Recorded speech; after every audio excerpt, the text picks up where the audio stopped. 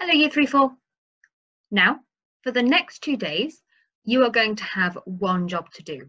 But that job is to actually create your memory box. So, yesterday you designed it, and today and into tomorrow, if you need to as well, you're going to be making your memory box and decorating it in the way that you wanted it to look.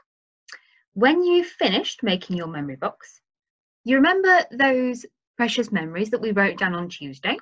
Well, you're going to store those precious memories in that memory box so that if you're ever feeling sad or a bit low, you can have a look at that and it'll hopefully make you smile. When you finish these memory boxes, it will be really nice to see them. So if you could send them to your teachers, that would be great. So that's the next two days. Finally, make your memory box. Good luck.